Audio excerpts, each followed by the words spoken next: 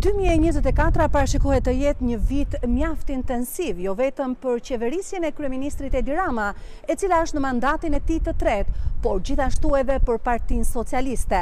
Strukturat drejtuese të Partisë Socialiste, së bashku me qeverinë e kryeministrit, 16 ministrat e kabinetit të tij qeveritar, janë mbledhur në Shëngjin të Lezhës në një takim për një analizë të thelluar, e cila do të zgjasë në dyzet e tetë orë.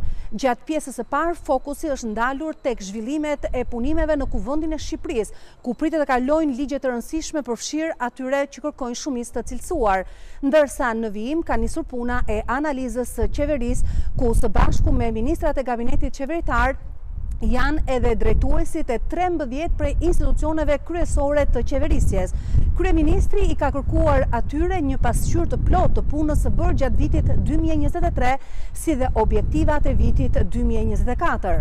Parashikohet që analiza e thellë e qeverisë dhe e qeverisjes socialiste të përfundojë ditën e nesërme me një mbledhje me dyer të mbyllura të qeverisë Rama këtu në Shëngjin të Lezhës.